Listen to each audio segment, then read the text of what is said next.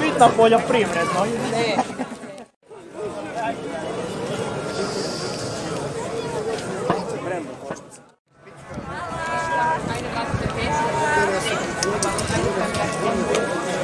To je teti, teti, da bude malo.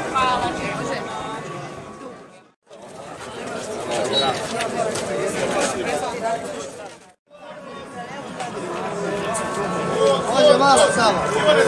Samo malo. Idu konji, konji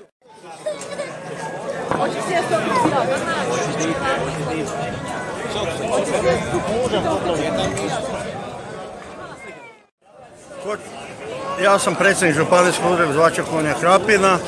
Kočija je rađena u Poljskoj po naružbi, po moje dugogodišnje prakse i vizije kako bi morala izgledati svadbena kočija.